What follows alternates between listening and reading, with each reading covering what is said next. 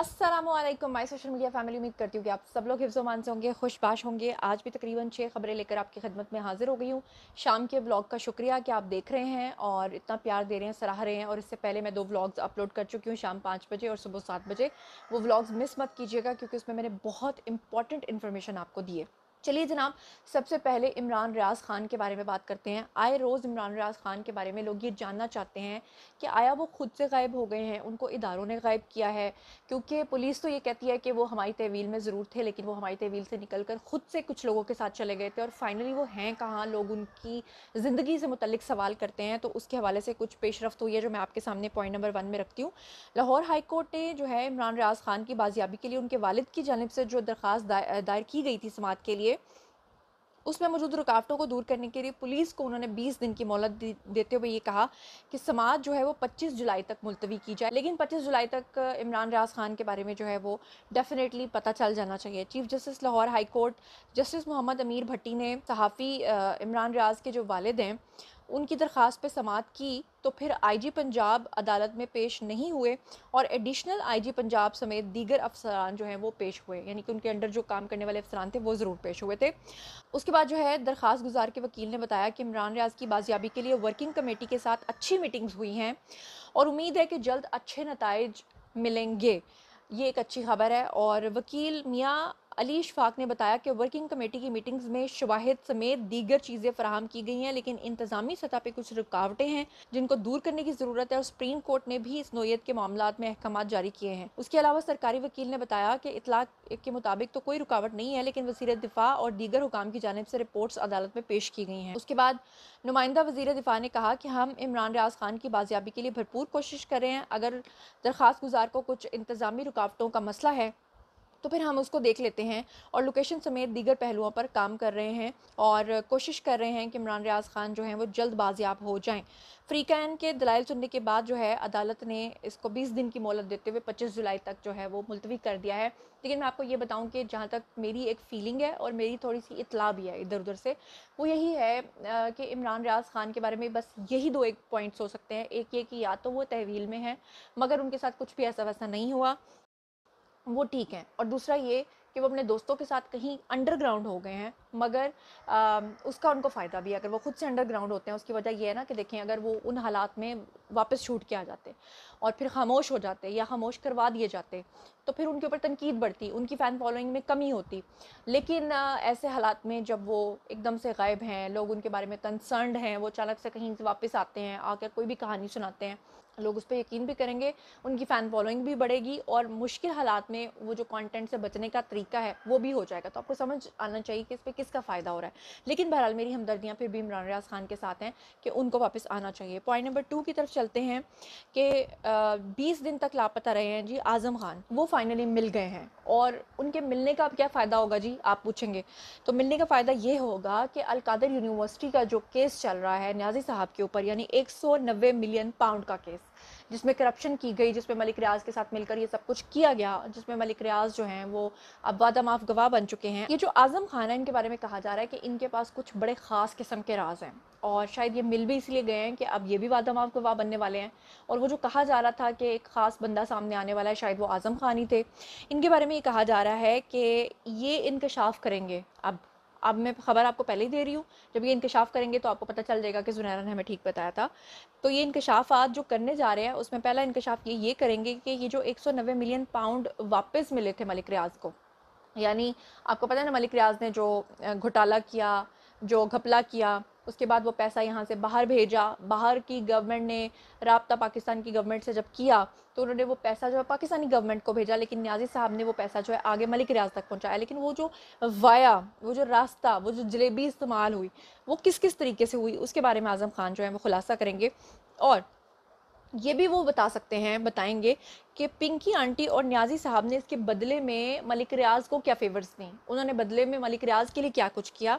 और ये सब चीज़ें बताने वाले, बता रहे हैं कि वो सबूतों के साथ जो है वो सामने रखेंगे। तो अब ये आने वाले दिन जो है ना, बहुत ही सेंसेशन भरे हैं। और जो लोग ये कह रहे हैं ना कि अभी तक कुछ नहीं हो रहा, उनको मैं बता दूँ कि सितंबर तक ये चीज़ें ऐसे ही चलती रहेंगी। अब मैं हर व्लॉग में आपको बताऊँगी तो आपको तसली होगी। अब चलते हैं जी अगले पॉइंट की तरफ़। तो हमने आपको बहुत सारी खबरें दी पूरा दिन। मैंने सुबह सात बजे भी खबरें दी मैंने आपको शाम को भी दी और एक पॉइंट जो सभी व्लॉगर्स ने मोस्टली मिस किया आ, वो मिस करने वाला नहीं था। वो ये था कि जी कैप्टन कर्नल शेर खान का चौबीसवां योम शहादत था और अनफॉर्चुनेटली हम अपने शहदा को भूल जाते हैं। अनफॉर्चुनेटली हम अपने लेजेंड्स को भूल जाते हैं। और जो शहदा होते हैं, उनके बारे में तो अल्लाह ताला ने कुरान पाक में भी कहा है कि उनको मुर्दा कभी मत कहो, वो खाते हैं, पीते हैं, बस तुम इस्तात नहीं रखते कि तुम उनको देख सको। और कैप्टन कर्नल शेर खान के बारे में आप लोग अगर नहीं जानते, मोस्टली तो लोग जानते हैं, मगर मैं थोड़ा सा बस ये कहूँगी कि कारगिल की जंग के दौरान उनको पता था कि वो नीचे की पोजीशन पे खड़े हैं और ऊपर से जो फौजी हैं, वो उनको मार देंगे। उसके बावजूद उन्होंने एक हफ़्ते तक मुकाबला करके उनको रोक के रखा था। और जब उनकी शहादत हुई थी तो जो इंडियन फ़ौज का जो बड़ा अफसर था, उसने बाकायदा उनके वो शव कहते हैं मतलब उनकी बॉडी को रिस्पेक्ट के साथ रख के उनको सिंदूर यानी कि एक तिलक लगाया था और उनकी पॉकेट के अंदर जो है वो एक नोट लिख के भेजा था पाकिस्तानी फ़ौज को कि आपका ये जो सिपाही है, आपका ये जो फ़ौजी है ये हमारे साथ कितनी बहादुरी और ज़रूरत के साथ लड़ा कि इसने हमारा एक हफ़्ते तक रास्ता रोक के रखा। और उसके बाद उनको निशान हैदर दिया गया। उनकी जो आखिरी आराम है, वो स्वाबी में है। और मेरी आप सब लोगों से रिक्वेस्ट है कि आप लोग वादा कीजिए, आपने उनके लिए दुआ फातह ज़रूर करनी है, क्योंकि अफसोसनाक वाक़ ये है। कि नौ मई के दिन उनके मुजस्मे को भी जलाया गया था। उसको बाकायदा आग लगाई गई थी। उसके वीडियोस मेरे पास मौजूद हैं, लेकिन इस तरह के वीडियोस हम ऑन स्क्रीन नहीं दिखा सकते। तो बहरहाल आप लोग वादा कीजिए कि आपने उनके लिए फातिहा करनी है और फातिहा के साथ जब सवाब उनको पहुँचाएँगे तो बाकी भी जितने आज तक शहदा हैं, उनके भी, उनको भी सवाब पहुँचाइएगा। अगले पॉइंट पर जाते हैं कि जब से यूथिया मार मुहिम शुरू हुई है तो बहुत सारे लोगों के सॉफ्टवेयर जो हैं, वो अपडेट होना शुरू हो गए हैं। एक बड़े सख्त और पक्के किस्म के यूथिया थे, मोहित पीरजादा। और मोहित पीरजादा साहब जो हैं, इनके बारे में आप जानते हैं, ये हल्की आँच पे पके हुए यूथिया थे और हल्की आँच पे जो ईंट पकती है ना, वो बड़ी पक्के पक्की हो जाती है। तो ये भी उस तरह के यूथिया थे, लेकिन अब फाइनली इनको यूथिया का जो कीड़ा था, वो ख़त्म हो गया, यानी कीड़ा मर चुका है। इनका वायरस वापस आ चुका है और आप ये फरमा रहे हैं कि जी, न्याजी को सपोर्ट करना हमारी आँखों के ऊपर एक पट्टी जैसा था, हमारे ऊपर एक आँखों पे पट्टी बंधी हुई थी। क्या कह रहे हैं? खुद ही सुन लीजिए। इससे पहले मैं कई वीलॉग्स में कह चुका हूँ कि नवाज़ शरीफ के खिलाफ भी जो कुछ हुआ, ये हम अब इस अब हमें समझ आया है। मतलब फॉर मैंने कारगिल के हवाले से कहा कि जो 99 में, ये मेरी वीलॉग्स हैं, अगर आप चाहेंगे तो मैं आपको निकाल के भी दिखा दूँगा कि जनरल मुशरफ की जो इंटरवेंशन थी नवाज़ शरीफ के ख़िलाफ़ अक्टूबर 99 में, वो भी अब हमें समझ आ रही है कि जनरल मुशरफ के पास इसका किसी किस्म का कोई जवाब नहीं था, लेकिन ऐसा हमारी आँखों के सामने पर्दा पड़ा हुआ था और हमारे एक पेट्रियाटिज़म एक हाइपर नेशनलिज्म ऐसी छाई हुई थी कि हम उसको हर चीज़ को जस्टिफाई करते थे इंडिया सेंट्रिक एंगल से। हमने पाकिस्तान की सियासत को इंडिया के से देखा, या हाइपर नेशनलिज्म के लेंस से देखा। चलिए, मोहित पीरजादा को तो आपने सुन लिया है। नाजी साहब का भी एक बयान मेरी नज़रों से गुजरा, जिसमें वो ये फरमा रहे हैं कि मेरे तमाम दोस्त जो बाहर के मुल्कों में बैठे हैं यानी तागूती ताकतें उन्होंने मुझे कहा है कि अब तुम बाहर आ जाओ। और उन्होंने कहा है कि तुम्हारी पूरी पार्टी को पकड़ के अंदर कर दिया है तो तुम उधर ही पाकिस्तान में अब क्या कर रहे हो? तुम भी वापस बाहर आ जाओ। तो मेरा ख्याल है कि न्याजी साहब सिग्नल्स दे रहे हैं। अब बात यह है ना कि सिग्नल्स जिन्होंने लेने हैं, वो सिग्नल्स ले नहीं रहे। न्याजी साहब क्या कह रहे हैं? खुद ही सुन लीजिए। मैं क्यों अकेला? सारी जमातें एक तरफ़ हैं स्टैब्लिशमेंट एक तरफ़ है। मुझे कहते मेरे दोस्त कहते हैं, बाहर बैठे हुए। खुदा के वास्ते इमरान खान बाहर आ जाओ, ये तुम्हें मार देंगे। ये तुम्हें छोड़ेंगे नहीं, ये तुम्हें सारे तुम्हारे खिलाफ हैं। तुम अकेले हो। तुम्हारी सारी पार्टी इन्होंने अंदर कर दी मुल्क से बाहर चले जाओ। सारे मेरे ख्याल ख्वार जो बाहर बढ़ जा, मेरी बड़ी टाइम बाहर गुजरा है। अच्छा जी, न्याजी साहब की बात चल ही रही है तो उनका एक और वीडियो आपको दिखाती हूँ, जब वो लाडले हुआ करते थे। जिस ज़माने में, जिस दौर में वो लाडले हुआ करते थे, उस वक्त वो बाजवा साहब की तारीफ़ें किया करते थे और उस वक्त वो बाजवा साहब के बारे में कहा करते थे कि वो एक बहुत ही सुलझे हुए शख्स हैं। वो एक ठहराव वाले शख्स हैं। वो एक ऐसे शख्स हैं जो, जिनके अंदर बहुत ज़्यादा बर्दाश्त है, हिम्मत है, हौसला है। और ऐसा वो क्यों कहा करते थे? क्योंकि वो कहा करते थे कि बाजवा साहब मेरे पेज पे हैं। उस वक्त वो नवाज़ शरीफ के ऊपर जो है इल्ज़ाम धरा करते थे, लेकिन नवाज़ शरीफ ने क्या कहा था? नवाज़ शरीफ ने सिर्फ़ आसमान की तरफ़ देख के कहा था, ये अल्लाह तू ही है। मेरा फैसला आपके सपुर्द है। और आज आप देख रहे हैं कैसे जलीलो ख्वार हो रहे हैं, दोनों एक दूसरे को कैसे थप्पड़ मार रहे हैं। वो जनरल बाजवा के बारे में इल्ज़ाम आयद कर रहे हैं, जनरल बाजवा उनके बारे में इल्ज़ाम आयद कर रहे हैं। तो बहरहाल, ये वाला वीडियो भी आप देख लीजिए। बार बार फौज को मुखातब करता इसकी वजह है, ये फौज का प्रोडक्ट है, ये फौज की नर्सरी में पला हुआ है। इसको इसके इसको क्या पता था पॉलिटिक्स का? इनका सबसे ज़्यादा कंप्लेंट अब फौज पे ये है जी। कि आपने हमारी मदद क्यों नहीं की? और अब हमारी मदद करें इस गवर्नमेंट को गिराने के लिए। जनरल बाजवा को मैं आज एक उनकी तारीफ़ करता हूँ। क्या तारीफ़ है? मुझे पता है कि मैं पुराने आर्मी चीफ्स को भी जानता था। इस तरह करके किसी आर्मी चीफ को अटैक करना जी। फौज के अंदर एक रिएक्शन आता है। ये जनरल बाजवा एक सुलझे हुए आदमी है। एक वो उसके अंदर ठहरा हुआ है। इसलिए वो बर्दाश्त कर रहे हैं। एक और न्यूज़ आपके साथ शेयर करनी है, वो ये है कि गिलगित बल्तिस्तान की जो असम्बली है, वहाँ पे पुलिस की भारी नफरी पहुँची और उन्होंने सबको बाहर निकाल दिया। क्या खबर है? खुद ही सुन लीजिए। आज गिलगित बल्दिस्तान के जो नए वजराला है उनका इंतखाब अमल में आना था। बारह बजे तमाम उम्मीदवारों ने कागजात नामजदगी दाखिल किए थे। उसी दौरान ही पुलिस की एक बड़ी तादाद गयाजी अ, फरमान है उनकी क्यादत पे यहाँ पे असम्बली हाल में दाखिल हो गई।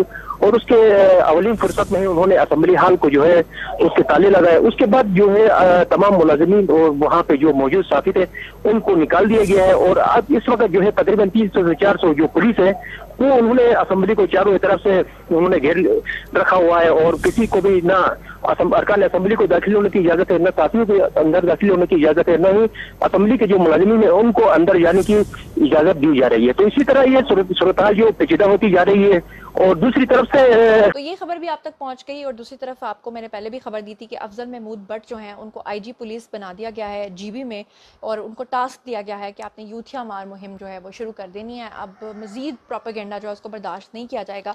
जैसे जैसे सितंबर नज़दीक आ रहा है, और जैसे जैसे बंदयाल साहब जाने का फ़ैसला कर रहे हैं और जैसे जैसे इदारे जो हैं वो क्लोज़ क्लोज़ आ रहे हैं इन चीज़ों के तो शिकंजा आपको सख्त से सख्त नज़र आ रहा है।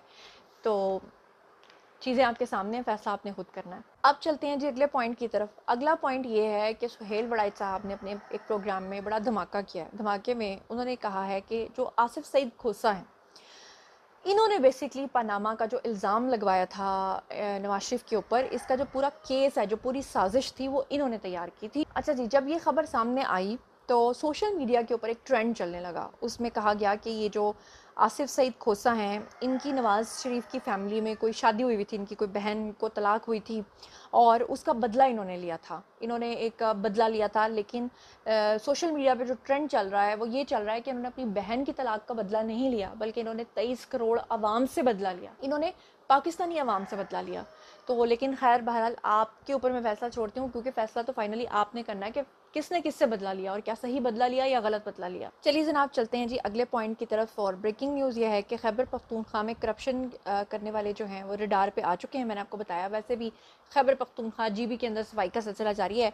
तैमूर झगड़ा सबका जो वज़ी ख़जाना थे, महमूद जान सबक डिप्टी स्पीकर थे, कामरान बंगश सबक वज़ी इतलात और इंफॉर्मेशन टेक्नोलॉजी थे, इश्तियाक अरमड़ सबका वज़ी जंगलात थे जिन्होंने बिलियन ट्री के अंदर जो है बहुत ज़्यादा करप्शन की और गलियात के जितने भी वो हैं, गेस्ट हाउसेस बेच दिए औने पौने और दरख्तों के नाम पे गाड़ियाँ ख़रीदी और दीगर मशीरों में आसिफ खान, पीर फदा और फजल लाही पर एंटी करप्शन के मुकदमात जो हैं वो दर्ज हो चुके हैं और एफ़ आई आर का जो मतन है, उसमें गैर कानूनी भर्तियाँ, तरक्याती फ़ंड्स में खुर्द बुर्द और इख्तियार के नाजायज़ इस्तेमाल की शिकायत भी जो हैं वो उसमें डाल दी गई हैं।